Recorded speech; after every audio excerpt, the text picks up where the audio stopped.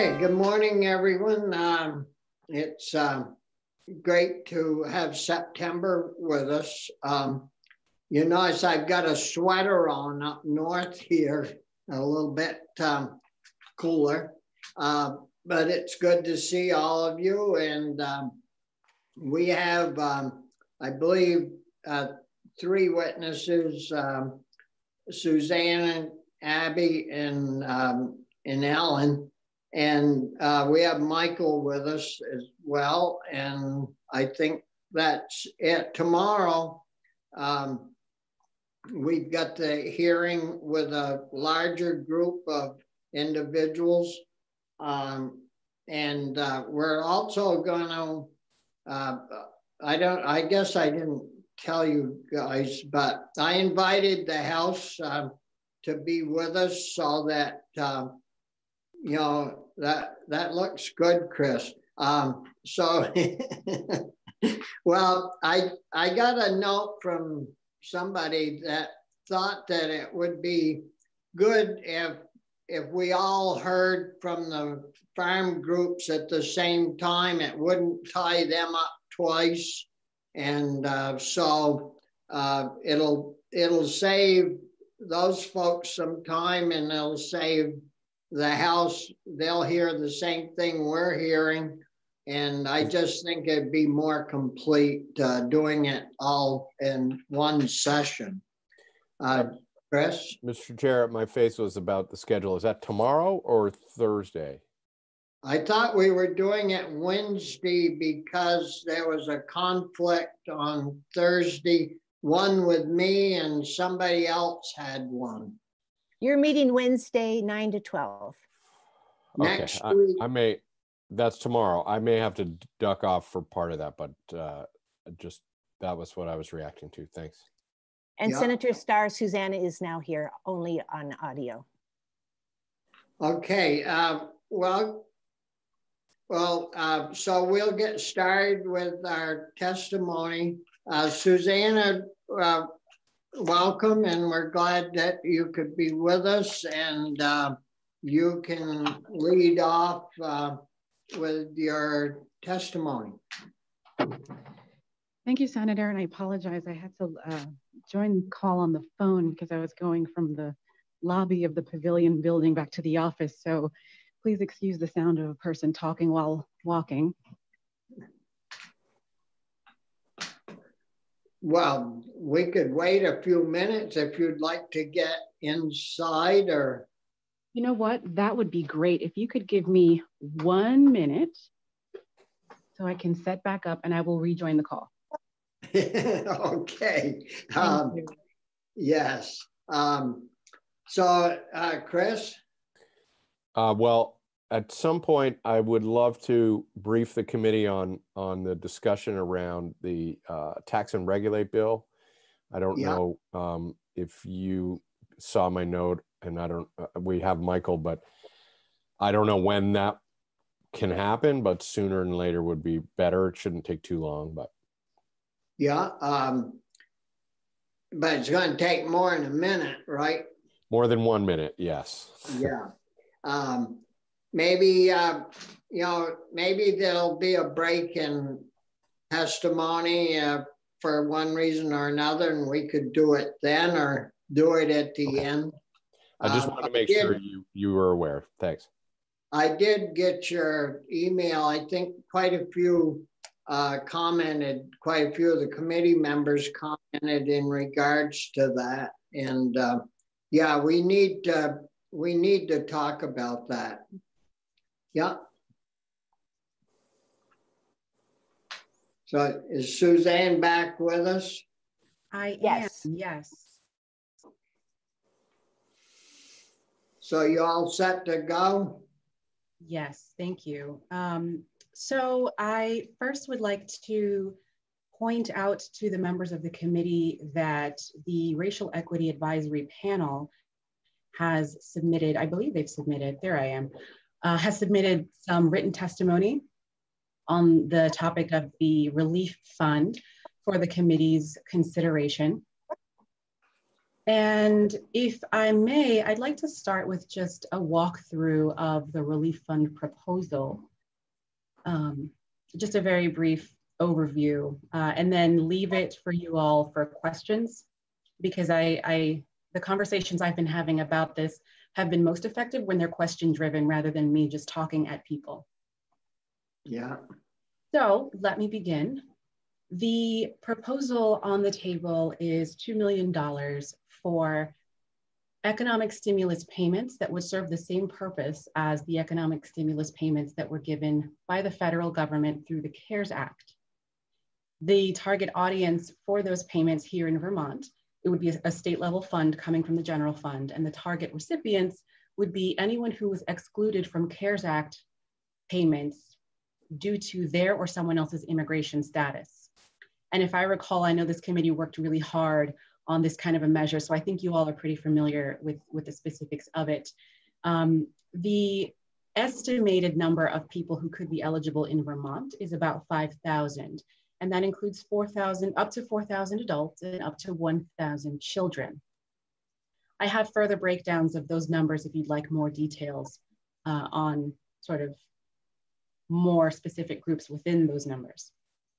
We've identified through our tax department people in the state of Vermont, not just people who are immigrants to the country, but also people who are US citizens and Vermont residents who have been excluded from CARES Act funding because of someone else's or their own immigration status.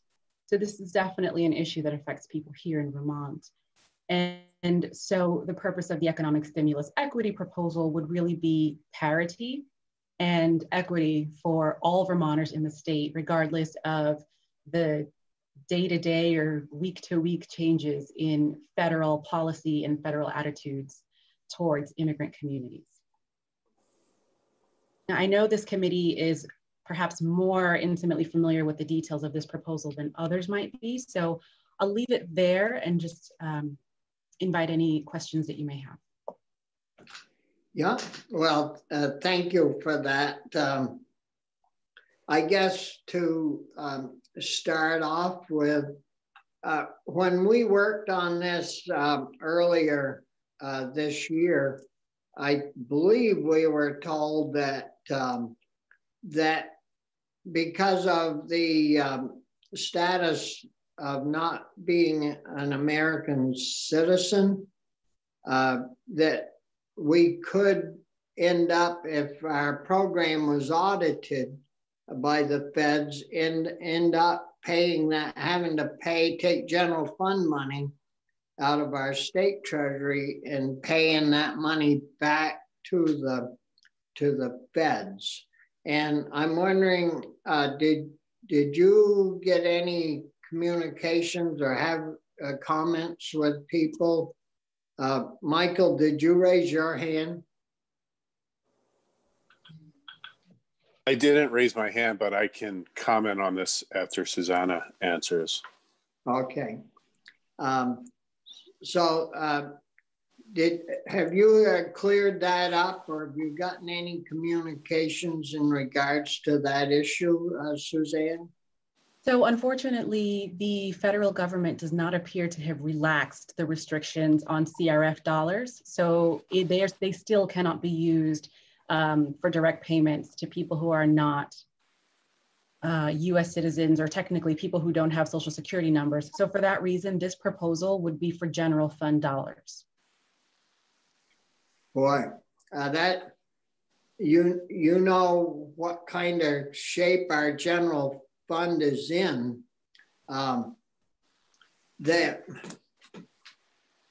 the, the one way we could maybe do this, if we could figure out a way to take COVID money and pay off something that nobody has figured out yet that's being paid for by the general fund, use COVID money to cover that expense and then take the general fund money to pay this expense. And I don't know if, if the administration, because they've got a couple of million dollars, I thought they put in their proposed budget to, to cover uh, these folks. And um, so I don't know if, if any of you have heard any more than I've heard or not. Uh, Ruth and Ruth and then Chris and then Anthony. Okay. Thank you, Mr. Chair, um, and thank you, Susanna, for your testimony. Um, I believe this is included in the governor's proposed budget. Is that correct, Susanna? Sure. Yeah.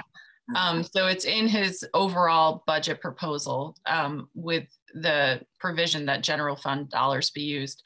I'm, I'm just skimming through the testimony that um, Linda just posted on our website that you sent to her, Susanna. And I'm wondering, it looks like that testimony is, is trying to make the argument for even more money for 5.3 million versus the 2. 2.0 million. And I'm just curious with the $2 million, um, what is the estimate for the number of people you can cover?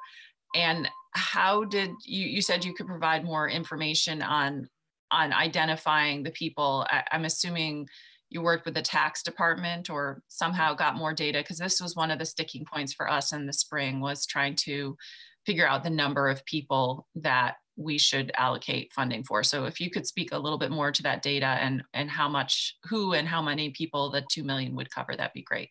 Yeah.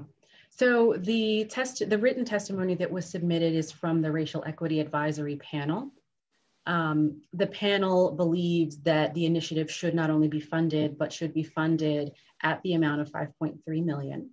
Um, and, and there's a lot, there's, there are some questions around how we arrived at these figures and what is a plan B or a plan C.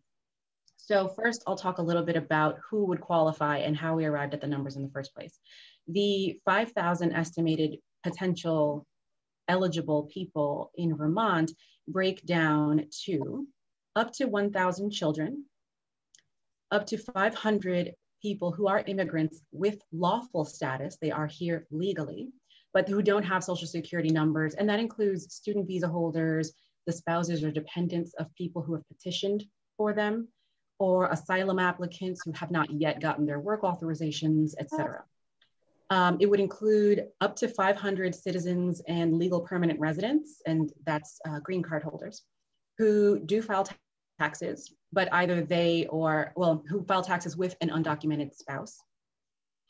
Uh, it includes 1,750 undocumented adults who don't work in the dairy industry, and 1,250 undocumented adults who do work in the dairy industry.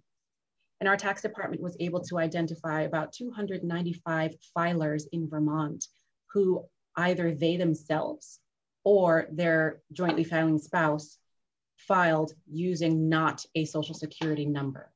I can get into the technical aspects of how you do that without an SSN only if the committee would like to hear them. I don't want, I don't want to um, spend time on that if you don't need to, but um, about 295 filers who did not use a social security number to file or whose spouse did not use a social security number to file. That was the information we were able to get from our tax department. Um, and so with the question of the 2 million or the 5.3, the 5.3 figure represents the total number that it would cost if every single eligible person we estimate made an application and received the funding. It assumes that our top numbers are correct. And it assumes that every single person who was eligible would apply. We cannot confirm either of those two things. Unfortunately, it's a population that's very difficult to quantify. Um, and even if we do know how many there are, there is often great risk in coming forward and identifying yourself to the state. And so even if we knew how many there were, it wouldn't guarantee that all of them would apply. That being said, um, if we were to keep it at the 2 million, if we assume the same payment per child and per adult as CARES Act money, so that'd be 1200 per adult and 500 per child, then theoretically, if all 1,000 children applied, that would be $500,000 earmarked for children. So if that first $500,000 is assumed to go to children, then that leaves 1.5 million remaining for adult applicants. And at $1,200 each, that covers about 1,200 1,250 or 1,275 adults out of potentially 4,000. Now, of course, we don't know the likelihood that um, the money for children would all be used, in which case that would overflow into the adult pool. And of course, we don't, I mean, unfortunately, the numbers that we've amassed as estimates, um, we're saying up to, but it's possible that the 2 million might cover it. It's possible that it might need more than more than the five. I think that this is one exercise that we're undertaking that we hope will help us to get better understanding of how many people there are in Vermont. Um, so there are there are some question marks, but one thing that I've been really heartened to see is that uh, members of the legislature generally agree with with the principle, and it really just is a matter of figuring out how to make it work. Yeah, uh, Chris. Thank you. Uh, appreciate the work you're you put into this. Uh, a couple questions. Uh, as I understand the federal program, like I have kids, uh, and our stimulus check was boosted because of them. Um, but it came to me, and so I, I'm curious if you can just technically. It sounds like you're saying that that children will get money directly. So I'd like to understand that, and then my follow up question is uh, around identity. Um, when we were trying to figure out how to do this with CARES money, we were we spent a lot of time trying to make sure we weren't inadvertently creating a list of people who uh, would be vulnerable to deportation from the federal policies that you know none of us well that I don't support and and I think most of us are concerned about and so can you just talk about the protections that you envision uh, along those lines Yes. So to your first question about how it would be administered for or to children, we are working on a draft that would have language in it saying something something to the effect of an eligible child is any individual under the age of 18 years who um, who's eligible for whom an eligible adult is a parent or legal guardian, something like that. And we're working to tweak that. Um, but the idea is that it would be for the child. Um, it may come in the child's name. A lot of children who are here, who are impacted by this, are citizens. And so to some extent, a lot of them are recorded and known by the, by the government. Um, the problem with CARES Act stimulus payments is that it eliminates, uh, excludes everyone in a mixed status household, even US citizens uh, and even children who are US citizens. So um, the payments for children would be administered, would be delivered presumably to the guardian of the child, for the child. Um, similar to the way that we do um, um, temporary assistance for needy families, public assistance, right? And maybe in the name of the child, but it's sort of given to the adult.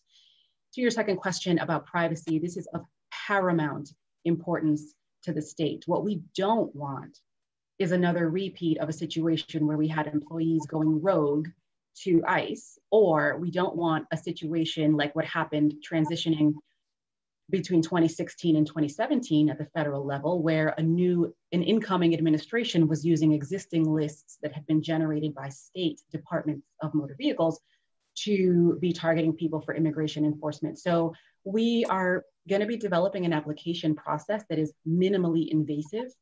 That is, we're only going to ask what is absolutely necessary to get people paid and we are going to be doing our best to guard the privacy of applicants um, because frankly a person in that position's privacy is of far greater value than $1200 so being trustworthy as a state means us being us doing everything that we can to protect people in that way I hope I hope I've answered the question or at least communicated that it's something we're thinking about. Yes. Yeah, for, for sure. I, I, you know, Sure. I think we all understand this, but a mistake here is not something you can, oops, sorry, you know, Absolutely. you were trying. Like, it, it's a life changer, and uh, so I appreciate the the gravity that you seem to understand. But I don't, maybe this question's for Michael, but I,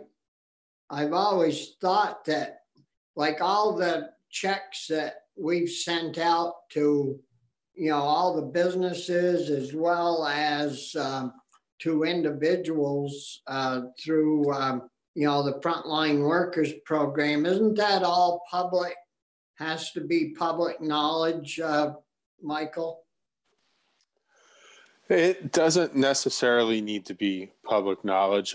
Uh, you can identify award applicants um, generally, and you can provide that their personally identifiable information is not public and is not to be disclosed.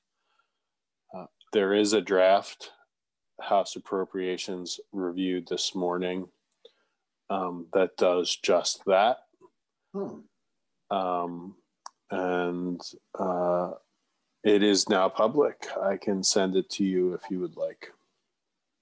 Well, I think it would be very good to have, uh, you know, for our uh, knowledge. And if, you know, if we're going to move something forward, but is appropriations working on a proposal to to move that forward, Michael? Uh, yes, it's a standalone committee bill. Uh, it's based on the administration's proposal, which was based on your language from February, which was based on another program that the administration did before that. So it's like the circle of legislative action. um, so it's yep, it's it, they're definitely uh, taking time and seriously considering it. Well, that that's good because if if they did, you know, get that going in approps on the House side, it would go come over if they passed it. It would come over and go directly to our approps committee, and we could, you know, support that as a committee if we so voted, or or help move it forward on on our side of uh, of the aisle. So that that's good to know. Uh, Anthony, uh, did you have a question or a statement? I guess it's become a statement. It was a question, but most of the questions were wrapped up in what Ruth had asked and what Chris had asked as well. I was concerned about how we would determine who gets it and who doesn't get it. I, I think it's really important that we fund this program, I just as a matter of fairness. And I was going to, I was wanted to be clear that, and this has already been talked about, that the $2 million is not enough, according to what the people who deal with these folks claim, that it's closer to the $5 million. And I would hate to be the person who walks in and finds out that you know I'm the last one in line and I came in last and like everybody got it, but now it comes to me and I I don't get it. I don't see how we are going to live with ourselves uh, knowing that we've only allowed this money to go through to a certain number of people, but we're still leaving out other folks who deserve it and need it. So I guess it's a statement since you've already answered the questions about the difficulty of trying to make those determinations. But I think it's really important that we go forward and find a way to fund this and fund it adequately so that it meets the needs of everybody who needs it, not just some of those folks and leaving others out in the cold, which is we would just be in some ways making making the situation even worse if we say, oh, we forgot to fund, we, we chose not to fund you guys last time now we're going to fund you, but actually we're only going to fund part of you. So, you know, some of you are welcome to come in and get your funding and others are going to be left out in the cold. I think that would be really unfortunate. So thank you. You've never gotten to a party, Anthony, and been the last in line and got there and, you know, the shrimp were all gone and this was all gone. And yeah, I, I've been there, but that's I, I know how bad that makes you feel. So I'd hate to see that happen to anybody else. I mean, I, I having ex experienced that myself, I think it's important that we don't leave that leave people out in the cold that way. Make sure the shrimp is available for everybody. That's very true. Uh, Brian, you, you had a uh, question or? I did. Thank you, Mr. Chair. I think we talked about this back in, I don't know if it was April, May, or June now, but the years kind of gone by. Um, one of the sticking points for a lot of people, sort of the general public, is the question of whether these folks pay taxes or not. And I know we talked about it before. Um, I assume, Susanna, that the uh, thousand children don't. I mean, I don't know when people start to pay taxes, but it's probably not at, you know, age four, five, six, seven, eight, nine, ten, whatever. But of the 4,000 adults, I think you made the point that it is true, actually, that they do pay taxes. Is that not correct? It is true and um, verifiable that a large number of eligible people do contribute to the tax coffers through payroll deductions. And often and i mean do not get to file for returns so event, effectively just don't get to participate to take advantage of any of the programs that they help to fund. Um, so in a sense they are taxpayers but not tax filers. That's not necessarily true of all of the adults who would be eligible here um, but but it is true for a good share. Thank you. Uh, Ruth? Thank you, Senator. Um, uh, oh my gosh, I'm just blanking. Oh, uh, one thing, uh, Nolan just, Nolan Langweil is on this call and he sent me the fiscal estimate that he did for the House appropriations proposal. Um, so um, I'm assuming he can send it to the full committee or it's on the House, House Appropriations page. Um, and uh, I, I agree with Anthony. I don't think we anybody really who, who supports this wants someone to be the last person to the party and not get a piece of cake or a plate of shrimp. Um, I will say though, um, because we're not sure about the data, even though um, I know that Susanna and others have done a lot of research, um, we have the strange, I don't know if it's benefit or, or not, but um, that we can be doing a budget adjustment in a few months um, in January. So one possibility is if this gets off the ground and, and there's a lot more demand and people apply um, than we expected, um, then we can adjust the amount in, in January. Um, I know this is gonna be an extremely difficult budget year. I'm really supportive of this and worked really hard in the spring to try to make this work. So I want to see something get through and get started um, and would love to be able to do the 5.3 million. Um, but if that's not going to be possible with our budget, I think getting something in to get this started and then taking a look again in January at least is a good start. Um, so I appreciate the work that you have done, Susanna and others in your, your task force to get a proposal this far. So thank you for taking the baton from us and moving it along down the road. So um, just really appreciate that we're back talking about this. Yeah, it, um, yeah, and it's good that the House is working on it. Um, well, the administration picked up on it, but then the House is picking up on it. So it um, it's good to uh, learn as much as we can so we can support it with good solid uh, numbers. One thing um, we could maybe track that would would help on the money and if we knew um, you know how our other programs um, that we've done with COVID money, uh, how well they've been participating, uh, the clients are participating in. And I doubt if, if it's 100%, but we'll find that out maybe as we move forward with our testimony. And, you know, if you can figure it at 80% or 90% or whatever it is, and uh, it would give us a much clearer picture on, on the overall uh, cost. Uh, but as Ruth mentioned, um, we do in January, I mean, it may not be some of us because we have races between now and then, uh, but uh, a lot of legislators that aren't, aren't uh, having a race this fall will be back and so it could get adjusted. Um, we don't even know what committees we'd be on but it, could get adjusted in um, budget adjustment in January. So, so there's you know some good possibilities uh, looking forward that we might get this darn thing done, which we all kind of want. Well, we do. We want to do it. We spent uh, quite a lot of uh, time and energy and testimony uh, to to get this thing going. So anyways, are there other questions uh, by any of the members or uh, Suzanne, Anna, do you have anything else you'd like to offer at this time?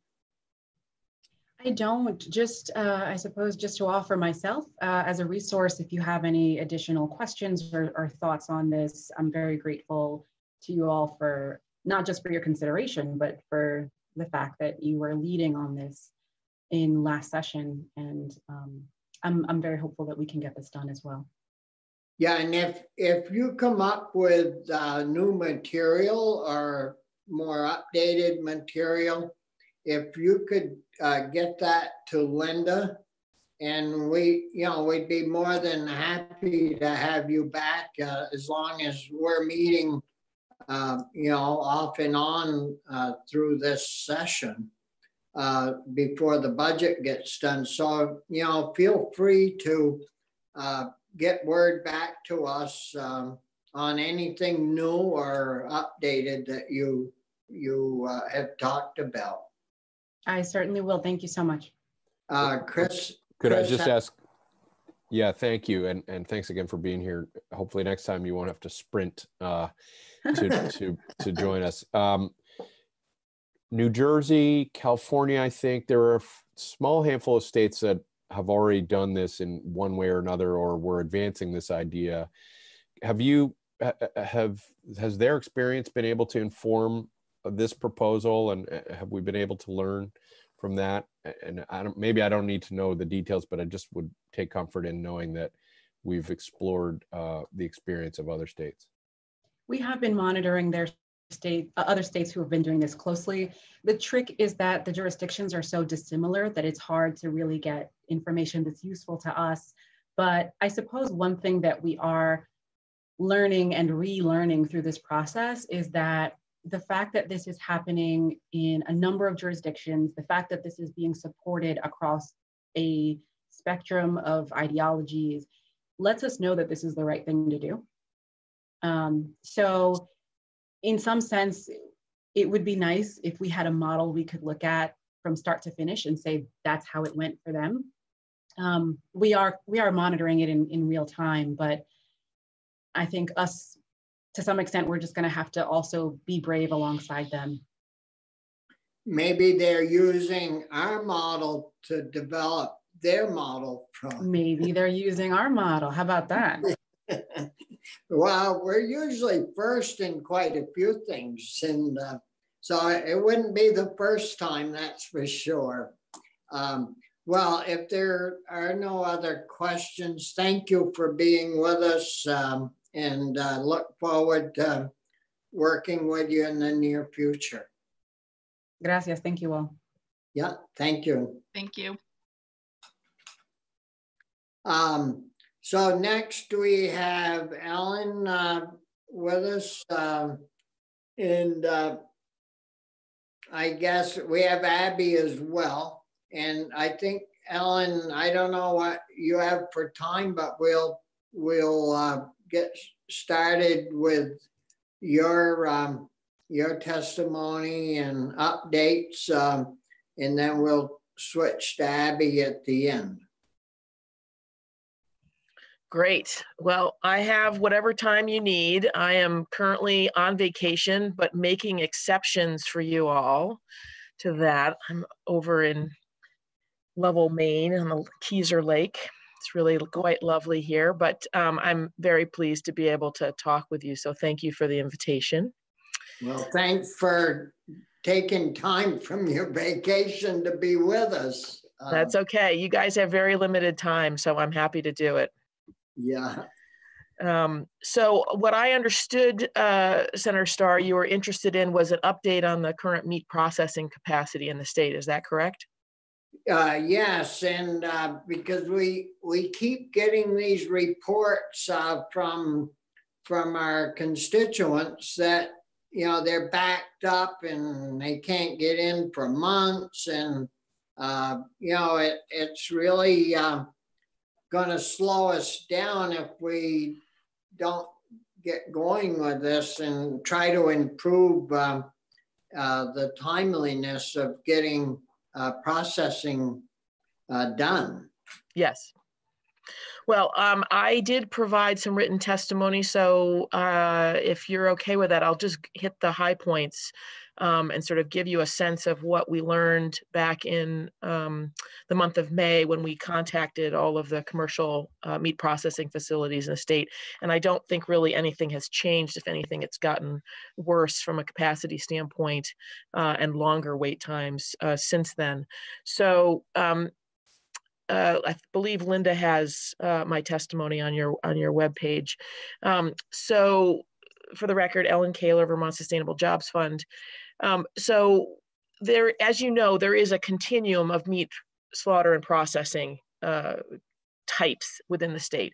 There is the on-farm slaughter that is allowed um, with certain number of animal thresholds, and that has to be pre-sold. Those animals need to be pre-sold to customers, and an itinerant slaughter uh, person comes on on the farm. It can't be done by the farmer, and uh, they uh, harvest the animal, and then that the, the meat is is provided uh, to the the customer, and it is not for sale from a retail perspective. There are also custom slaughter and processing plants also um, for direct sale to customers. There are state inspected slaughter and processing plants um, that are allowed to um, sell to retail, uh, but within the state only. And I think you are aware that that recently the um, we got a the ability to sell uh, meat from state inspected plants outside of the state. Uh, there was a um, I don't know if it was a waiver or what it was that was arranged. Abby probably can tell you the details. And then there's federally inspected plants, um, and that's for retail sales. So you have a you have a continuum, a range of different types uh, of slaughter meat processing for different purposes, different market channels, different types of customers.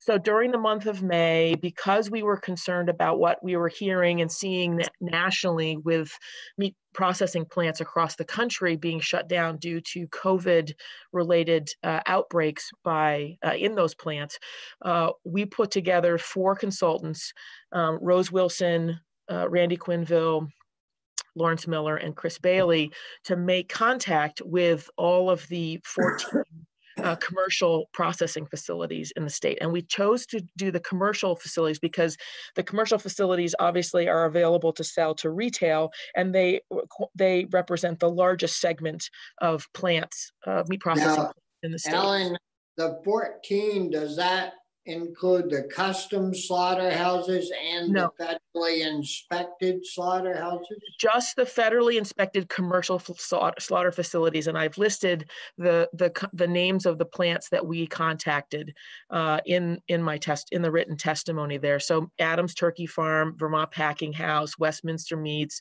Brault's Market, Vermont Sla- Slaughter and uh, Livestock Processing, Misty Knoll. NPC Processing, Royal Butcher, Maple Wind Farm, Northeast Processing, Stonewood Farm, Green Mountain Smokehouse, and PT Farms. So those are those are the commercial slaughter and processing facilities in the state. We got the list from the Agency of Agriculture, and we asked them sort of who would they think to to prioritize uh, reaching out to. And we we were interested in three main questions in our outreach to them. We wanted to find out how are they doing with complying with the governor's um, and uh, and the health department's um, pro- processes and protocols related to uh, work workplace safety, getting enough PPEs, all of those kinds of things. We wanted to see how were they operationalizing the governor's executive orders. We also wanted to find out how they felt they were doing financially and, and their overall cash and budget management. Because if a plant went down, had to close for a couple of weeks because of a COVID outbreak, we wanted to get a sense of, are you going to be okay? Do you have enough cash on hand? Um, are you going to be able to get through uh, a period of, of being in shutdown? Uh, and then thirdly, you will recall that right around the time of May was when the Cabot and uh, DFA announced the quotas, uh, new quota system for milk uh, from their members. And so we knew that there was going to be a number of, of cow dairies that were going to get called in order to meet um, that those quotas. And so we were concerned about what we were hearing of some of the plants that normally cull dairy cows would be sent to out of state. Those plants were being shut down because of COVID outbreaks. And so we were wondering, you know, is there a way that Vermont uh, facilities had enough capacity to take a certain number of Vermont cull dairy cows and be able to keep that meat here in the state? So we were looking at these three different questions and we did all of the outreach by phone we're not able to be in person in any of the places. So what we learned about their safety protocols, we couldn't visually verify, but um, you know, we felt fairly confident in their abilities. So here's our here's our, our key takeaways in the process of having those conversations and then the consultants and I really sort of working it through like what are we really learning uh, across these 14 plants. Um, they're doing a pretty good job with instituting all of the health and safety protocols um, that they seemed to be taking it very seriously. They were doing masks, they were having separators uh, between workers, they were, you know, following the, the break rules, break room rules and all of that. Um, they, all of the plants seem to be very, uh, a good, pretty good in terms of financial health. All of them felt like they could withstand a shutdown if it happened within a, for a couple week period um, and that the main impact of them being shut down was really going to be more on the production side of creating additional backlogs for producers because that shutdown meant that those two weeks worth of slots for harvesting animals would have to get shifted by a couple of weeks. Um, every, and this is, I think, gets to your point, Senator Starr, every plant reported uh, that they are being, that they are at maximum capacity in terms of their infrastructure, their workers, uh, their physical plant uh, abilities. Um, at the time, there were two exceptions. Uh, um, but as more workers have been brought on board and additional equipment have been acquired by those two uh, operations, um, they too now are operating uh, at maximum capacity. Um, and another sort of interesting uh, development that's happened that is putting additional uh, strain on the on the system, so to speak, is that uh, Walden Meats, um, which is a purveyor of uh, aggregates a lot of uh, Vermont and and Northeast meat, um, has bought uh, has invested in Vermont Packing House, and they now um, have access to 40% of all of the slots, slaughter slots at Vermont Packing House. So that meat, a lot of that meat stays and is sold locally or it's sold within the region, which is a good thing. But what it does do is it does put additional limits on the amount of capacity for the small producers to get uh, their, their animals to slaughter. Um, the plants are turning away new accounts.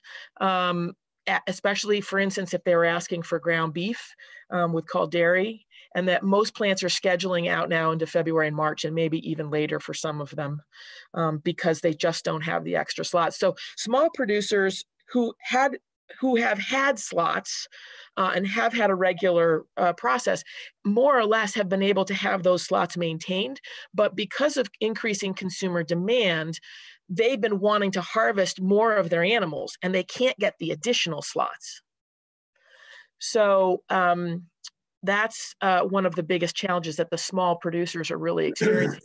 Um, a couple of the plants are interested in hiring and need additional workers. I mean, pre-COVID, the workforce uh, shortages for trained uh, meat cutters uh, in the in the industry was already a challenge, uh, and COVID has only exacerbated that. Uh, and while we think that the current situation that's brought on by COVID um, is not going to change anytime soon, um, we do think the you know there are some projections that that local meat demand um, may continue post COVID even at 25% higher than pre-COVID levels. Um, and and we recently had a focus group with a, a, number of grass-fed beef farmers and we were asking them the question about overall consumer demand. What were they feeling in the marketplace? What were they hearing? What were they seeing? Um, and we were pushing them to say you know how much do you think your industry grass-fed beef could expand over the next 10 years? And um, they felt that they probably could almost double uh, their their sales and output over the next 10 years but they arrived at the challenge, which is only if there's additional processing capacity in the state. Um, and I and as you know, um, other New England states have been trying to see if there's a way that we can ship more meat uh, within the region.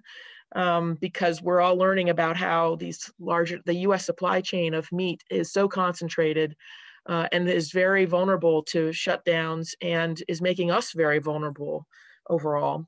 And so finally, in conclusion of sort of where we arrived at from our analysis, is that we probably in Vermont could use another one or two Vermont packing house scaled slaughter and meat processing facilities in the state.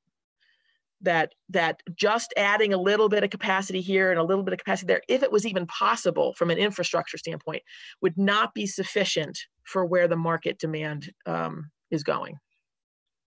And what about uh, contracts? Um, so the market is there to sell the finished product. Is that at a competitive price or is that at yes? A, no, yes. Mm-hmm. And, and even the uh, cold dairy meat, for instance, the Vermont Land or the Vermont Food Bank was very interested, and they were going to be will, able to uh, offer a competitive price for the gr- dairy ground beef, but we just we can't get it processed. Uh, any interest um, from anyone in uh, building a new facility? Uh, has has that been explored, and how long might it take to to accomplish that? Or well, we're just uh, I don't know of anybody right now. Um, we are in the process of forming a new uh, meat supply chain task force within Farm to Plate with that expressed purpose to try to identify uh, individuals that might be able to start up a new plant and to do the all the work around uh, that to be able to to expand overall capacity. It's going to take time. You know it's not something i mean first you have to find the plant operator and the owner then you you need to have an actual physical facility that can be permitted and have the capital and the workers. So this is not going to be a quick turnaround by any stretch. You know i and i don't i wouldn't even want to try to guess from a timeline standpoint. And uh, another question. What uh, what region uh, did you um, find where there are farms that could could raise more or double their herd size so that you know you don't want to get a lot of trucking involved in and uh, so is it like Addison County or or where where did that interest come from? Was there any particular area or no particular area. I mean, we pulled together, I think it was maybe 12 grass fed beef um, producers from all over the state that are doing it. And, you know, obviously where there's more land in Addison County and um, uh, there is definitely um, a lot of activity there around the grass-fed beef side of things. But I think we obviously one of the key things would be to take a look at where do we feel like we have uh, a capacity shortage in terms of geography, in terms of, as you're saying, keeping trucking costs down. But um, I mean, we're pretty much hearing across the state from producers uh, of the challenges of getting uh, slaughter slots. And Abby may have more intel to share on that as well. Well, and I would think if, you know, if the 25% of the market is here, or additional market. But uh, if if it was going to be out of state, you know, like Boston or Hartford, you know, uh, an area where you can go either way for us easily is, you know, White River along the the corridor uh, 89 or 91 and you can go you know, south and southeast or yep. or however, but and any idea of what it costs to put up a facility? I don't off off the top of my head. No, I can easily find that out. Um, I can yeah. I can just see if Mark Curran has a would be willing to give us a ballpark of you know what went into Black River Meats and Vermont Packing House. Yeah, and and Carl Carl Cushing ought to have an idea, I would think. Um, uh, Ruth, uh, you had a question? Uh, yeah, I had a couple questions. Um, one, excuse me, is the capacity issue mostly around beef or is it across the board for all types of? All types. So even poultry and um, is different um, in that um, well abby should speak to that because i'm not as abreast on on of the poultry rules but um, you know No uh, maple wind farm uh, in huntington Bol- bolton area they process other people's chickens they're but they also do a lot of their own chickens so they are close to to their plant's capacity and then you have Misty Knoll Farm, which again, it's their chickens. They're not processing for other people. So, um, so chicken is a little bit different, um, but for hogs, goat, sheep, and cattle, um, it's it's a problem. Okay. And we heard testimony last week from rural Vermont that, and they were pitching um, an expansion, I think a pretty big expansion of arm, on-farm slaughter. And I'm wondering, is that something that you support or um, Sustainable Jobs Fund? And what do you think it would be, uh, would even put a dent in this capacity issue or not? It wasn't clear to me that it would. Um, I think that for the small producers, it would provide an opportunity for them to ha- harvest more of their animals because right now they just they can't they have no outlet so as part of a longer term strategy of building up towards overall uh, capacity for uh, the meat industry in the state it is it is a, a portion of of what is needed um, i think that i'm not going to I I, can't recommend what levels i mean i think that's really for the agency um, of, of ag and you all to sort out uh, if you want to go that route. I think in the short term it could help quite a bit for the small producers. But in ter- but because it can't be uh, you can't sell it into stores, it doesn't meet the even larger issue of more Vermonters wanting to buy more Vermont meat. Um, so you know it hits a it, it, it would it would take care of a certain population of the producers and a certain population of vermonters who want to buy direct from farms and that's of course assuming that they actually can get their hands on a chest freezer unless they have one already because you can't buy a chest freezer anymore um, but I, I think it, it, it is part of a strategy. The other issue is that, you know, again, as a, as a potential short term, what we don't know is for those producers that might want to take advantage of increased on farm slaughter capacity uh, because the thresholds increase, if an additional big, larger plant came online, there's nothing to say that they wouldn't then switch over to those plants, uh, to that plant. So um, I think as a short-term strategy at, at, the very least, and to satisfy the needs of certain parts of the marketplace, uh, it, it's it's worth exploring uh, seriously. Um, Thanks. Any other questions? Abby, you can feel free to jump in with um, any comments if you if you'd like. Um, um, any other? Uh, what about expanding? some of the ones that we already have, is there any any room there or are they at their limit building wise and storage wise and all that? Yeah, a lot of them are at their storage. They have wastewater, like for instance, uh, Vermont Livestock Slaughter and Meat Processing, Carl Cushing's plant. He's had white wastewater issues forever, um, and so some of it is is a physical plant challenges. Some of it is being able to get workers.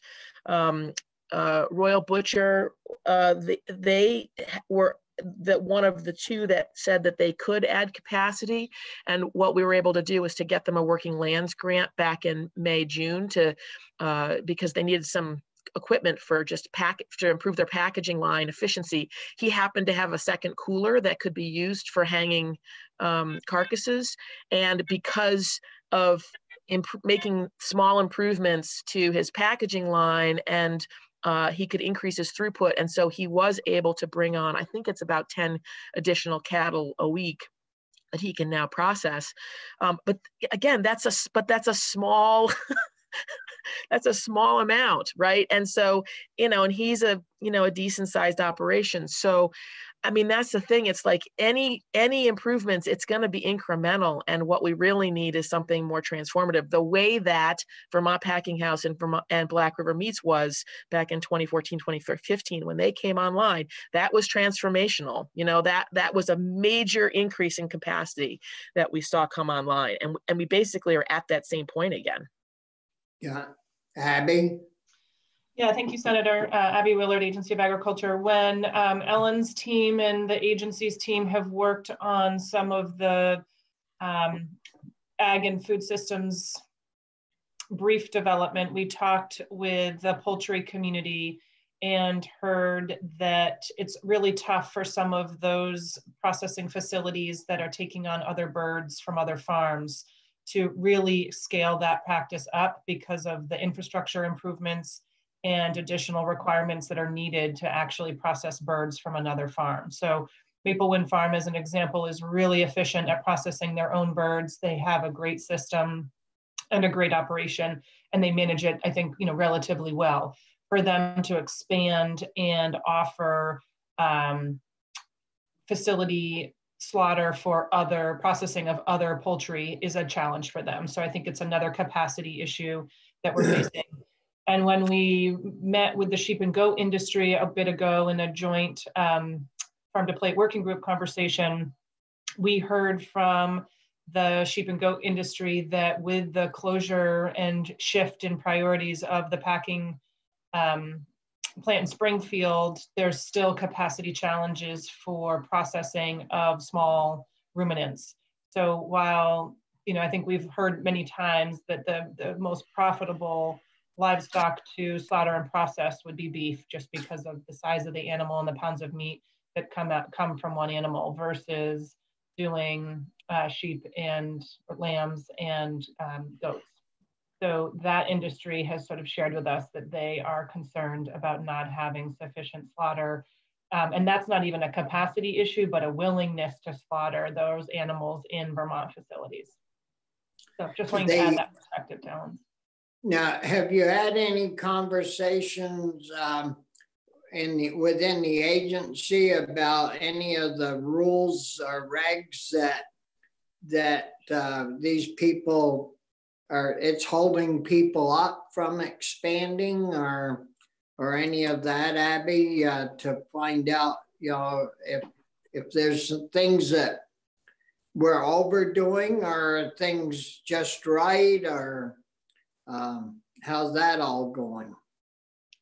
Yeah, I I'm not part of the routine conversations that happen within our meat inspection team um, in that section. But what I do understand is, and, I, and maybe Ellen's research and work with the plants can corroborate or, or not. Um,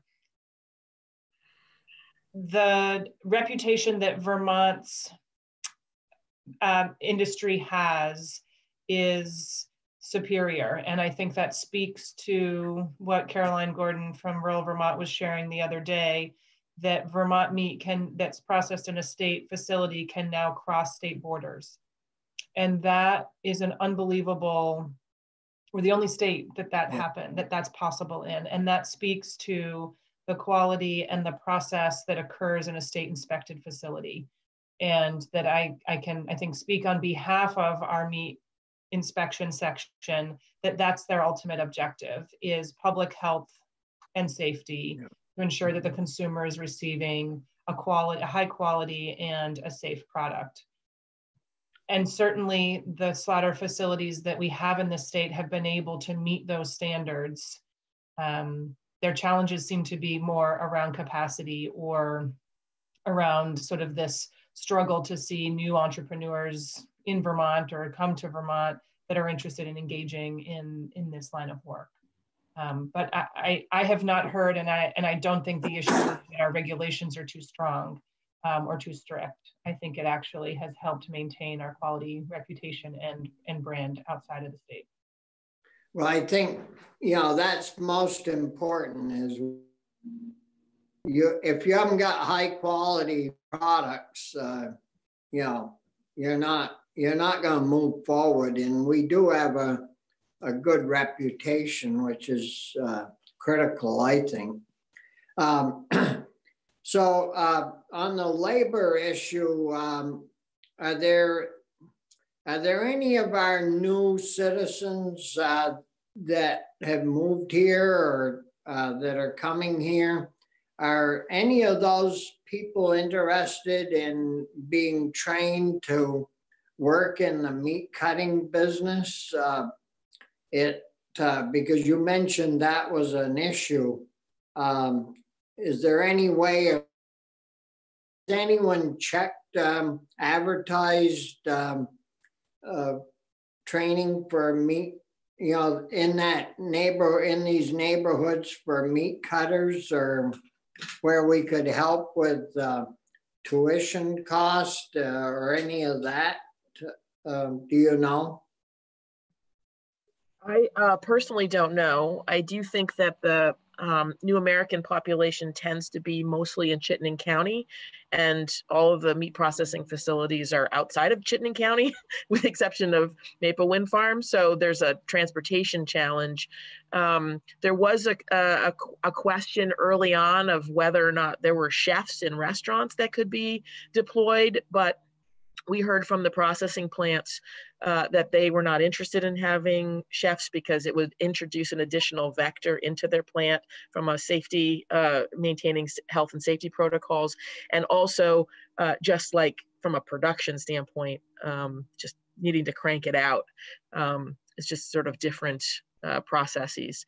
Um, I do think the question around training is a good one. If you may recall back in 2011, um, when Farm to Plate first launched, uh, there was money provided to uh, Hannaford Career Center and Mad River Food Hub to develop a meat cutters apprenticeship program, which is now being run out of Vermont Technical College. It doesn't happen on a regular basis, uh, but it is something, it is a, an, a piece of infrastructure, so to speak, that does exist that enables us to uh, train people in, in the state that are interested. I don't know if there's a, a class coming up um, but it is a it is a, a larger systemic problem overall, it, eh, it, eh, Senator Starr, and it's and your question is a good one that's worth exploring. Well, and uh, what about how much do these people get paid that that if they're on the line and they are a meat cutter, uh, do they make good decent wages or do you know? Did you check that out, Alan? Um, I can get you that information. We do have it. I just don't have it off the top of my head, but it's, you know, it's it's decent. Um, but you know, it's also really physically hard work. You have to be and you and you have to and it's cold work. You have to be you're in uh, an environment that's what like 45 degrees or 50 degrees uh, working. And so um, it's it's not for the faint at heart for sure. um, well, but I can get you I can get you those numbers. You know, you people will work if they get paid decent. And and these new Americans, uh, you know, they're they're probably from areas where people work, but we want to make sure that, if we go down that road of promoting it, that they can make a living doing this kind of work because it is hard work and and uh, you know the hours are probably uh, 10 hours a day. I don't know, but uh, 10 or 12 hours a day. So, um, you know, work conditions mean mean a lot. Ruth, yeah. did you have a question? Yeah, well, I just wanted to add um, some of these plants, I know at least the seasonal ones um, use H2A um, uh, workers, um, migrant farm workers um, on special visas to come work in Vermont. I know, for example, Stonewood Farm, we heard spring. Um, I don't know if Ellen or you, Abby, or if this is more of a question for Allison, um, but um, about whether or not there's, I know there was a delay in getting some of those workers in in the spring and wondered if that has been cleared up. Um, so for fall processing, for example, if they, if, if that workforce is available. My understanding, Senator, is that those consulate closures um, are no longer the same concern that they were in the spring, at least at this moment in time. I think what could happen it, later in the season is, you know, remains to be to be known. Um, but yeah, we, have had some similar questions from apple orchards that hire H2A workers this time of year. And my understanding is that they're able to, and they're seeing their workers come in as scheduled. Great. Okay. Thank you. Yeah. And um, are those those H2A workers? They they're only given a certain length of time they can be here. I'm wondering if while they're here, if you know, if we had somebody contact them or have meetings with them, maybe the like um, Paul Stone or somebody uh, like that could talk with them, see if they'd even be interested in moving here to do full time work. Would would be, uh, you know, maybe it would work. Some of them might want to move their families here if they enjoy being here. And, you know, and that's why it's important that we know what they get paid and and that if we had a new facility, uh, you know, uh, what we could offer workers to, uh, you know, come and stay and and be able to feed their families and live okay. Um, I um, I looked up the butchers and meat cutters uh, typically are about thirty-six, thirty-seven thousand dollars a year, so between seventeen and eighteen dollars an hour. Meat, poultry, fish cutters, and trimmers are a little less, about thirty-four thousand a year, about between sixteen and seventeen dollars an hour. Yeah, so you aren't going to live too high in Chittenden County, are you, Chris? You know, the rent would take half of it. Um, the um, yeah, see, I mean, the cost of living is is pretty severe. I mean, you know, it's the way it is.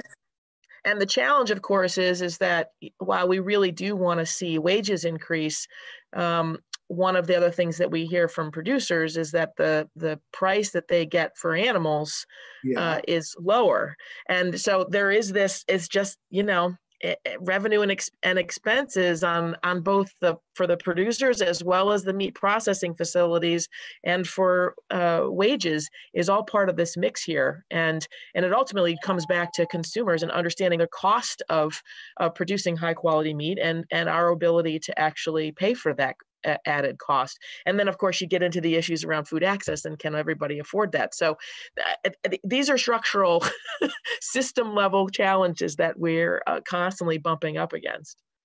Yeah.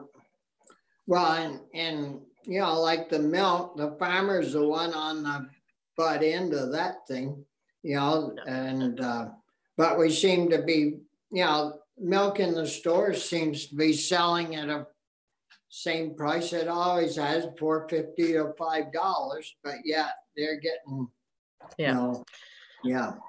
So I would definitely. Sorry, go ahead. No, no, you're you're good. Uh, I was just going to say, in my mind, the other thing that that you all could um, help with is ensuring that the Working Lands Enterprise Fund uh, has more funding than what was in the governor's recommend uh, which I believe was just about 595, uh, was their base budget. Um, uh, getting up to at least 750,000 in a working lands uh, allocation for fiscal 21 would be a, a, step in the right direction. Higher would be better, but we understand the challenges that you all are facing with a very, very tight budget. But basically, uh, in order, to, but one of the things that we've seen through this COVID process uh, across the board, all sectors, all types of businesses, is there is a, a, very much an increased need for business and technical assistance to support uh, the, the business owners in being able to rethink their business model, getting it pivoting into new market channels.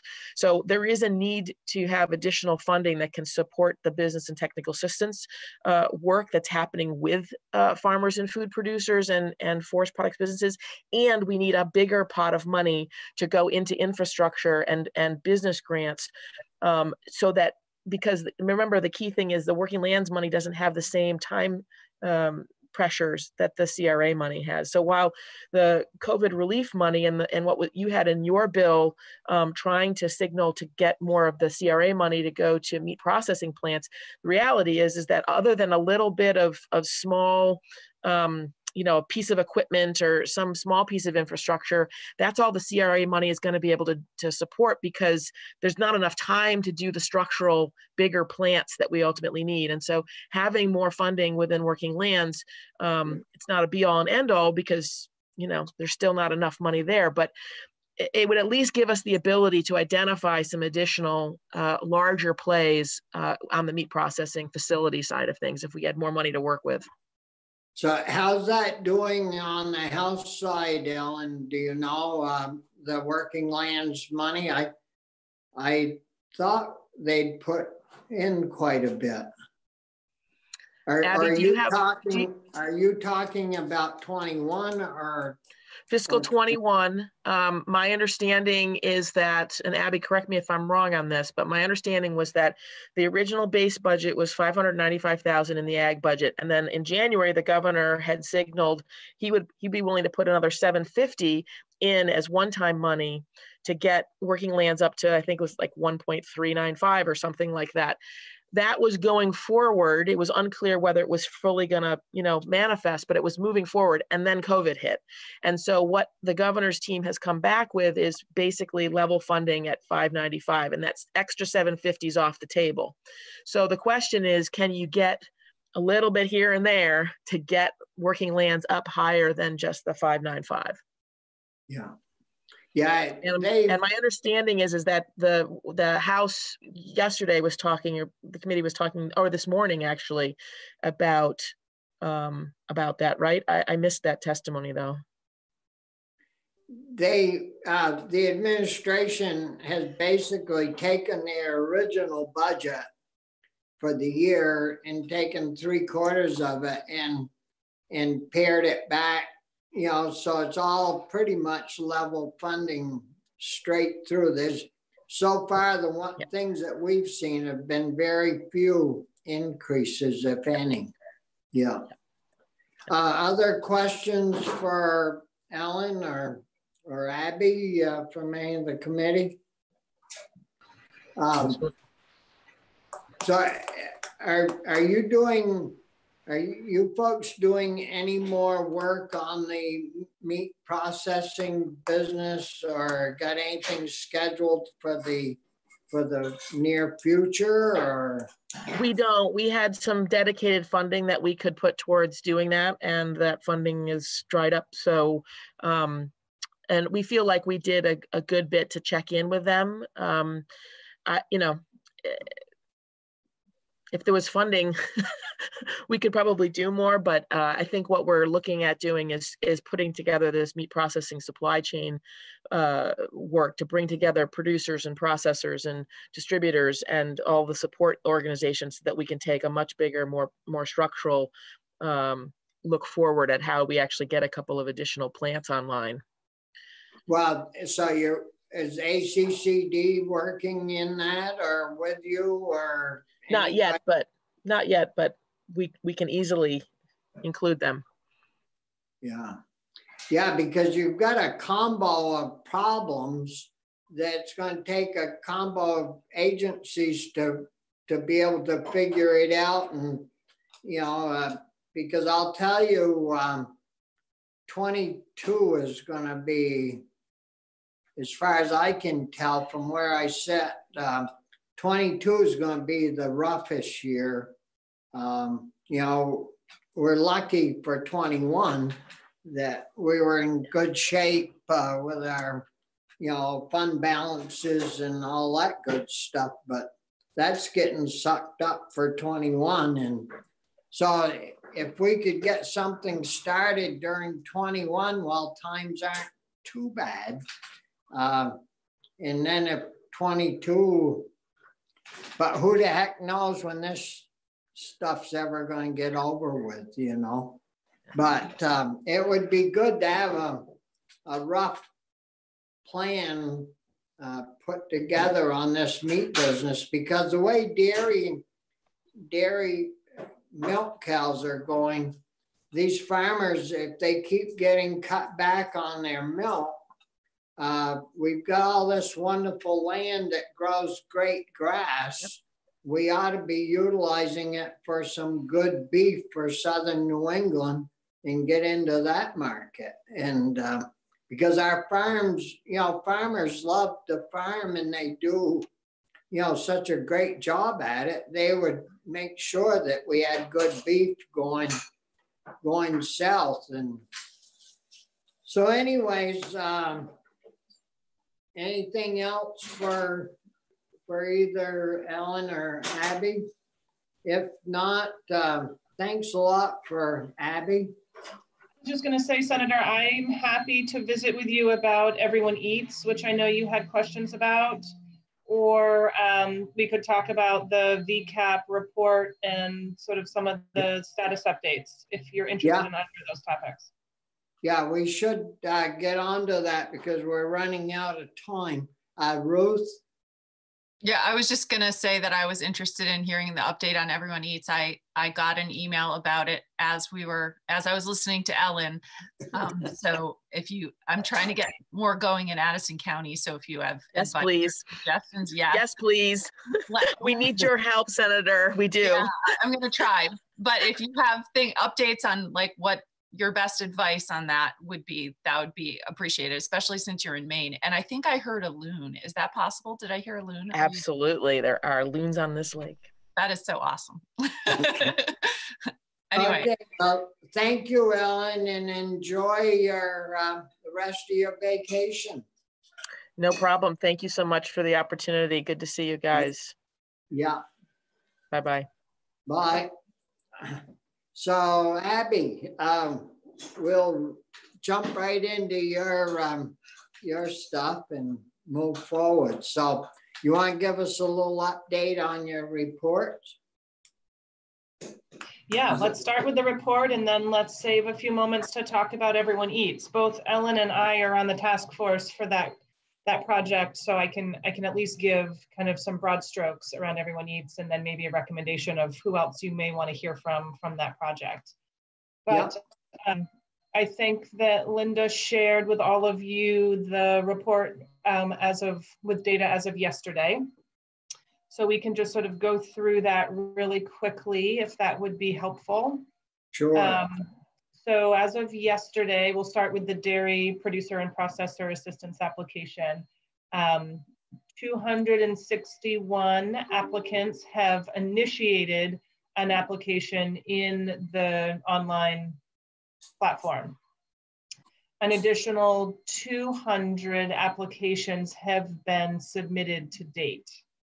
So that means of the 760 uh, dairy producers and processors in the state that we are aware of and that received their unique dairy ID numbers to submit applications. We've heard from 461 of them, which is not bad. Um, you know, right now we have one month left for them to submit applications um, by October 1st.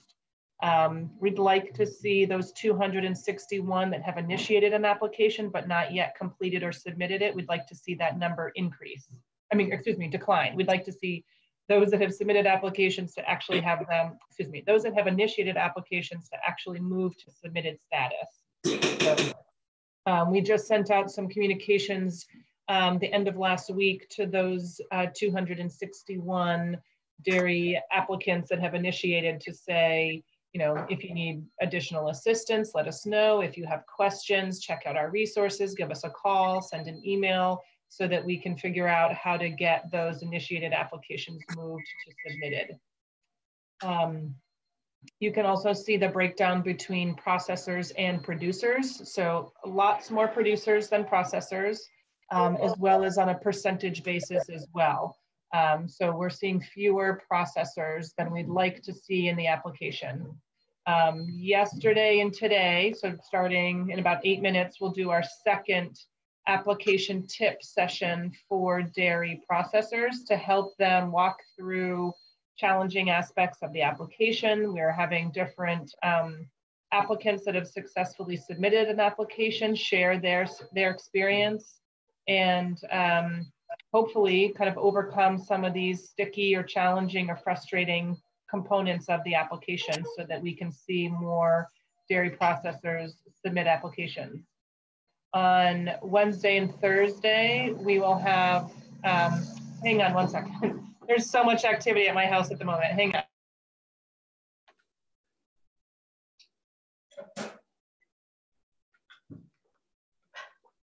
Looks like the medium farm people, I mean, there's, there's a lot of medium farms and we're only hitting so far 29. Yeah, you're muted, Abby. Sorry, thank you. Those 29 are just initiated applications. We've received completed applications from 45 of the 45 MFOs. So we've heard from, you know, 74 MFOs in total in some capacity. But we are hopeful on Wednesday and Thursday, we'll do those application tip sessions for dairy producers as well, so that we can hopefully start to see in the coming weeks, additional dairy applications come in. Okay, Abby, can I stop you for a second? Because I'm trying, I'm having a hard time following your numbers. Um, I thought you said you 451. Did I hear you say that number? And I don't Uh, see. 461. So, So how, how are you there's, that from these charts? yep. So um, the first table is of initiated applications. And there's 261 applications that have been initiated. Plus, the second table includes the total number of dairy applications that we have received, and that's 200 applications. So there's Okay. 461 applications that are in some stage of completion. Okay. I didn't, it tur- crosses over on a page, so I didn't see the 261. So thank you. That's helpful. Oh, yeah, maybe when this was transferred into a PDF, I think it may have, um, That's that's right. unfortunate, yeah. But I get it now. Thank you. Yeah, you're welcome. Um, you can also see the third table down is payments. So you can see of the 200 applications that have been submitted, 128 as of yesterday had actually been approved for payment. And that was totaling 4.44 million. I just got a text just a minute ago that today, so every Tuesday is when we process checks with finance and management. So today, an additional 34 dairy applications were approved for payment, um, totaling an additional 1.13 million. So that's an addition to this that's in your chart here. Three point what, Abby? Um, it was 34 additional farms totaling 1.13. So we now would have 5.57 million in dollars paid out. Yep. In the dairy application. But even still, we can look in the narrative here just below um, the 128 figure. You know, that still represents um, only 7.97 of dairy processors and 19.53 of dairy producers. Yeah, we've got a long ways to go there. We do still, it's true. Yeah. So we can um, we can come back to any of these topics, but then I just would move us down. There's the the um, application tip series that are happening this week to hopefully bring on new applicants or at least move them to submitted. The next application is the agricultural fairs assistance, and so this was the half a million dollars targeting agricultural fairs. You can see that we received 12 eligible agricultural fair applications that have outlined almost two and a half million dollars worth of losses and incurred expenses that are eligible due to the pandemic. We Yeah, this how- week, How, that's gonna come up really short then, isn't it? Well, none of these programs have sufficient funds to pay all of businesses' losses. So it's no, it's similar to, you know, this will be the legislation that you all passed did not include caps for fairs. It just included some eligibility criteria and the budgeted amount of $500,000. We knew that we would most likely not be able to cover all losses. But again, that's similar to the dairy and the ag and working lands applications that have caps based based upon you know, some criteria. So we are looking at being able to equitably distribute payment to fairs. So that was in the legislation that it be equitably distributed. And it looks like it'll be somewhere between, somewhere around 20% of the claimed losses um, reimbursed through this grant payment to each fair. One, one issue though that you kind of forgot, I think, or maybe you didn't in you, is that like last year, it rained every day of Barton Fair. And the way we set the law up, or the way it's been set up, is that this year's losses compared to last year. Well, if last year was a washout and you didn't make anything and actually you went behind, compare this year with that, you might not have lost so much this year as you did last year because you had all these contracts for uh, people to come and perform and it rained and no attendance. Did, have you talked about that much? We did communicate to fairs, and I, I, admit I am not on the agricultural fairs oh. review team at the agency, so I wasn't a part of the detailed conversation of the applications that we received. But we have said, and this holds true for any of our assistance applications, that if there were extenuating circum circumstances in 2019 that make that a really inaccurate um, comparison to your losses anticipated in 2020, to articulate that, to communicate that to the agency so well, that, that um, we can make accommodations if appropriate, if there were, again, some, you know, extenuating circumstances with 2019. Yeah, that's good, Abby. Thank you. I don't know if Barton claimed that. I can, I can ask Senator, but I, I don't know um, if, if they took, it took advantage of that opportunity. Well, I hope so, but anyways. I'll look, I'll look into it. Yeah, it's a good, it's a yeah, good point. Thanks. Sure. Mr. Chair, could I could I ask a question? I, I my video is not going to work, but at some point I'd like to be in the queue. Sure. Yeah, jump in, Chris. Thank you. Um, Abby, our, I know you have probably have to get off for the little for the webinar for dairy assistance. Are you guys doing anything similar for the working lands and uh, on and non-dairy programs, the uh, applications? Yeah. So um, Thanks, Senator. I'm actually going to let the team handle this second webinar so I can stay with you for a few minutes longer if, if you have time. Um, and let's talk about the Ag and Working Lands application because that's our third and most recent application that the agency launched. And um, we'll start with the, the numbers and then we can move to the, the technical assistance and outreach support. So as of yesterday, we had seen 113 applications initiated in the system and 52 applications uh, received, submitted and received. So 165 applications in process in this application that's been open um, for just a couple of weeks now, since the 17th.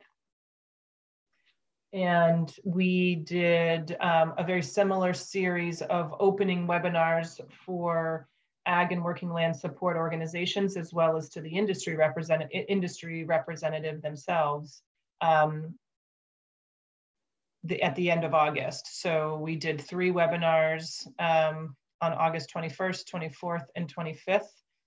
We had about 50 participants, which it was pretty low attendance, frankly, compared to the three or four that we did for dairy, which had um, I'd have to look back because that was in our July report, but I can I can pull that up relatively quickly. Um, I think we had 150 or more attendings in the that webinar series. Um, let me look quickly just in And and are are these are archived online, right? We can point people to them. Is that right? These report the the series, the webinars, yes, are we have a recording on our website for each of the um, each of the webinars. Yes. Thanks. You're welcome. Um, we also are looking at doing a training um, next week with the Farm Viability Network um, to do another sort of application kind of tips and tricks session with them as they continue to work with applicants. We also engage with the, that farm viability business community once a week um, and hear what their questions are. They help us formulate our frequently asked questions that we populate on the webpage um, so we're helping answer any questions that they're receiving from businesses that they may be working with. And in this report, you'll see just the, the variety of outreach and education efforts that we did in the month of August. And we have a fair amount scheduled for the next couple weeks in September since we're in the final month here. Uh, are there any issues, Abby, that um, that the agency that you folks would like to see changed? We're, we've got some deadlines and things that that we're in the process of putting together um, some suggestions to, um, I guess it's all going to happen as far as I know in appropriations. And Michael has put together uh, some language for us on dates that we've already talked about. Are there any that you know of or issues that you know of where your your people would would uh, offer uh, suggestive changes? Yeah, thanks for that opportunity.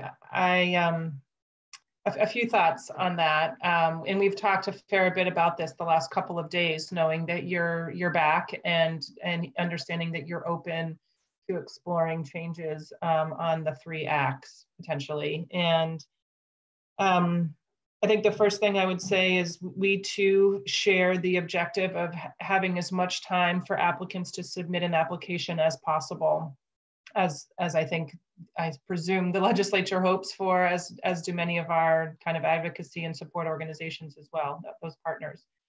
Um, we also talked a bit about some fluidity between the funds so that, you know, right now it's written that if um, by September 15th, if there's any unspent dollars in the non-dairy and working lands funds, that those could be transferred to dairy.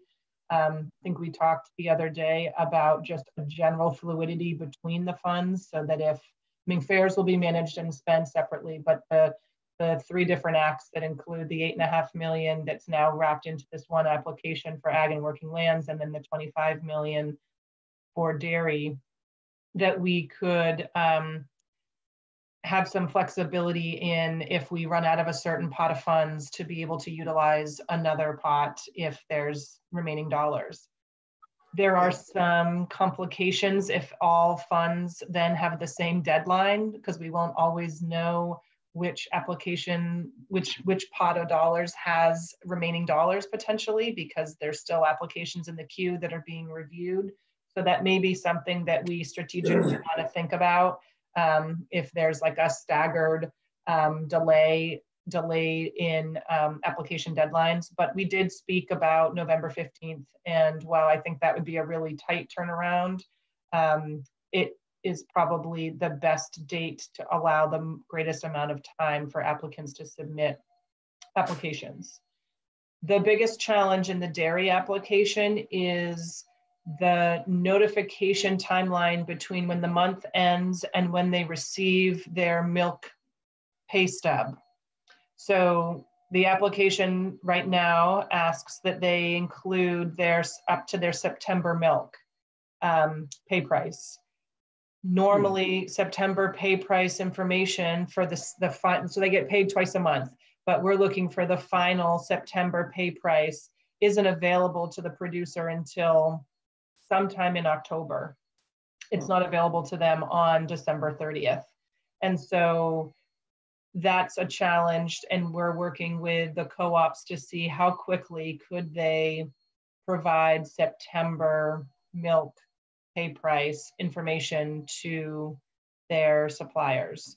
Um, the same would happen if we extended the deadline to November 1st, that again, they would not have their October milk pay price on October 31st or November 1st, but maybe they'd have it by November 5th or November 10th. Um, and so trying to work out that timeline that feels reasonable with the co-ops, possible with the co-ops, and um, and then gives the, the producers time to submit an application with that month's claim included. There is a, I believe, and we can have Michael look into this. I believe there's a deadline when the milk processor that they sell the milk, the farmer sells the milk like the DFA or Agrimark, there is a time in, I believe in law that they have to pay that into September money to the farmer and whether it's 15 days or 20 days, it, it uh, but we can check that out. Yeah, it's typically been a few weeks, and we're trying to see if they can be even more expeditious. Can they do it in like a week so that? Oh, oh um, they haven't got the money yet because the yeah. guys that they sell the milk to haven't paid them. So, yeah. Yeah, that is probably true. That it's a kind of um, it's a trickle trickle up situation um, for them to, for the for the co-ops to be able to pay. Yeah, everybody gets their little bite of the apple, and the farmer ends up getting just the core. We're hoping that's not always the case, but yes, I think it does feel that way a lot of times. Um, we've also spent a, a, bit of time talking beyond the deadline, but about the no net profit conversation that happened last yep. week. And we are interested in, to, in looking into what it could be to change some of the language, we want to make it just really known that there are consequences when we go in and make changes to this application about eligibility or um, requirements for applicants. And we have reached out to the vendor MTX to ask them about timeline and how much um, it would cost to make modifications to the application if eligibility parameters were to shift or change. Um, we're also looking in to see how many applicants in the ag and working lands application. So again, so far we've received 165 either initiated or submitted applications. How many, if any, other businesses have applied and been knocked out due to not meeting that no net profit eligibility threshold to see how big of a problem if any, is this eligibility criteria that was discussed last week. And um, our vendor is, is looking into pulling out that data for us. So I, I, think it's not quite as simple as maybe we had talked about or thought um, last week, um, but we're, we're looking at all the different avenues to see what could work. Um, for example, if we make changes to our application, we will go back in the queue for those changes to be made with the vendor with MTX. So it depends on how many other applications also have changes and when our request goes in as to when the bill passes. If it were to be a bill that, that is um, proposed and passes as to when our ag and working lands application can be amended and, and then resubmitted. So we know that there will at least be a two possibly three week time period where we'll have to shut down the application and not be accepting any applications. Um, because when the eligibility criteria that's in the application at the time that someone submits or initiates an application is the eligibility that we'd have to move all the way through. So we'd have to stop the application, put it on hold, make any changes, and then reopen it with a different eligibility for applicants to re-sign up. Yeah. Uh, Ruth? Um, yeah, two questions. I mean, to to address that last question, one one thing that came up was maybe just moving all the money into the working lands portion of it that doesn't have that, so that you wouldn't have to stop applications and you wouldn't have to um, change the whole thing with the vendor. I, I don't know if that's an acceptable solution or would even work, but it is is that possible? Um, and then my second question is, um, you mentioned the staggered deadlines as a way to try to figure out how much is in each fund. If we had uh, November 15th or November 10th or whatever we settle on as the final deadline, couldn't you just process the applications, um, not turning in anybody down per se, but then just sort of see how much all the applications would add up to, and then you would know before you've before you've paid out money um, it just seems like it would be unfair. I mean, we have it set up that way now and we want to change it because we think it's unfair to have different deadlines for the three of them. It, it, seems to me that you could work out some kind of reconciliation process with the deadlines. So those are my two questions. Yeah, so right now, all the VCAP applications managed by our agency have the same deadline. I guess FAIRS don't, FAIRS, FAIRS just closed because um, it was a very targeted population. But the dairy assistance and the ag and working lands application have the same deadline of October 1st. Um, so we we have consistency there. Um, and, and that fluidity in funding, I think, is a, an option rather than making an eligibility criteria change that we um, look to the in the additional flexibility and funding to support as many applicants as we possibly can that meet the ag and working lands sort of general eligible applicant criteria which again that too is is limited in that they need to be an agriculture business a value added food product uh, business a forest products or an ag producer association. So there are still some criteria around who can apply. But um, if we had the fluidity between the funding sources, that may be the best way and the simplest way to um, work the different scenarios of eligibility through the chart. If you haven't had a chance to look at that um, eligibility flow chart, get, take a look on our website. It's very complicated with the three different bills and the various eligibilities that accompanied each of those funds. Um, but the application is now set up to be able to funnel applicants through based on how they answer eligibility criteria questions. And that's what would make it complicated once we go in and start changing eligibility. Um, and that's why we'd have to shut it down, make the changes, and then re, re, re-upload. Um, so I, I, agree, Senator Hardy. I think the the funding flexibility of the the amount in each bill with the associated criteria could be the easiest and, and most feasible solution to support as many applications as possible. Yep. um, other questions for Abby? No? Do you want to hear well, about Everyone Eats? Senator Hardy, I know that was an interest of yours, but I also know we're in the lunch hour, so. Yeah, if everyone, if no one else, if people need to leave because everybody has committees, I know, um, and needs to eat and probably use the facilities, um, I'm happy to either wait or just have a, a conversation with you offline too at some point. Um, well, you wanna, see, I, I have approps at one o'clock and I don't know, probably Brian, you got a meeting? Yeah. Anthony and I have at one o'clock at GovOps. Maybe we could have Abby come back. Yeah, sure, definitely. Um, uh, I don't know though if we're gonna have time tomorrow, but we'll we'll um, discuss that um, in the morning. But we'll let you know a day or so ahead, Abby, because you have plans too. So we'll, yeah, we'll yeah, we'll check in with you um, and uh, you know, and we'll get some questions rounded up and we can go from there.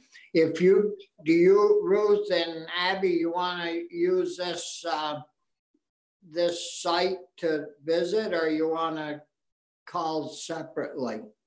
That's okay. I, Abby, I, I think I have your phone number, so I can call you separately at another time after I get a chance to read through the emails I received and maybe you yeah. can give me some advice. It's specific to how to get something going better in Addison County. In Addison, yeah. yeah. And I would encourage you as a committee, if you're interested, um, the coordinating team of Everyone Eats which is again this $5 million that was that you all helped appropriate for restaurants and local food procurement and feeding those families in need. Um, they plan to have a legislative summary report written in the next week or two. And Jean Hamilton, who's the project coordinator, would be a great person to come in and talk about the program overall. Um, I can give you some of the highlights, and I'm happy to do that in a day or two or, or with you individually, Senator Hardy. But um, that report that they'll have in a, in a matter of days, I think will be really, really interesting and really valuable to take a look at. Well, we'll have you back in, um, Abby, and thanks a lot for spending so much time with us. Um, and um, I guess uh, we'll just sign off. We'll see you tomorrow morning. I think we're starting at nine o'clock. That's right. Uh, pardon? Nine yep. o'clock.